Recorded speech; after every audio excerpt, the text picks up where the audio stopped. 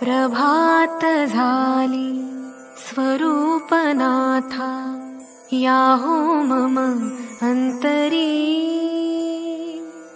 सोऽहं घोषची घुमत राहावा मानस गाभारी माझे माझे लोप पावू दे तुझे तुझे उगवू दे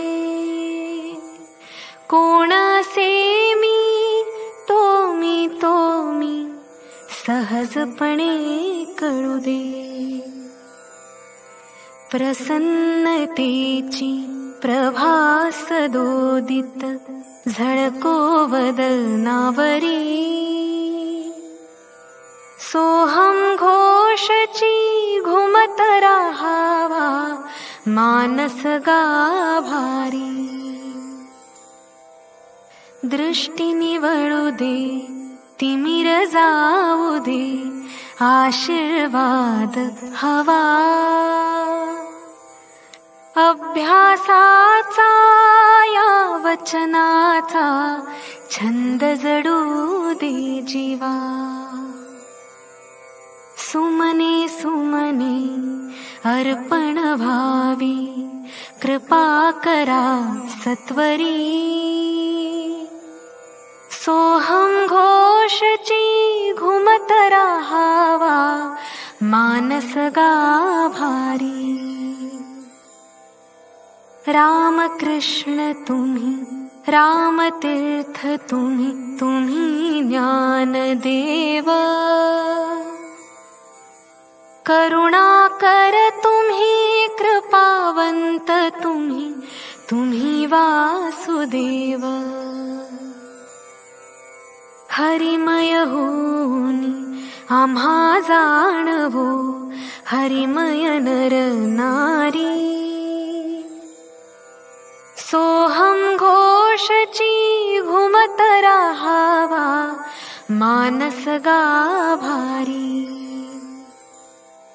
उदात उन्नत पावन मंगल जीवन हे भावे सोहम सोहम म्हणता म्हणता ममत्व संपावे सोहम फुंकर भरा बनू द्या या देहा बासरी। सोहम घोषची घुमत राहावा मानस जवळ घेऊनी शिकवा गीता ओढशी लागली. सानुले करुणी भरवा आम्हा गुरु राम कृष्ण हरि राम कृष्ण हरि जपो सदा वैखरी सोहम घोषची घुमत राहावा मानस गाभारी द्वन्द्वन उरले दुःख संपले अनुभव यावा।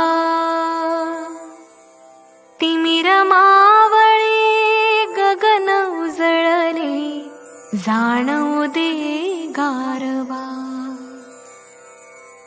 चित्ती वचनी कृतीत यावी सहज सुधा माधुरी। सोहम घोषची घुमत राहावा मानस गाभारी स्वागत करितो सद्गुरुराया उमलो दे मनीषा कृपा प्रसादे स्वामी आपुल्या शमुदे सगळी तृषा। भक्तवृन्दः प्रसन्नवदने विनम्रवन्दन करी स्वामी विनम्रवन्दन करी। सोऽहं घोषची मानसगा राहावा भारी। राहावा भारी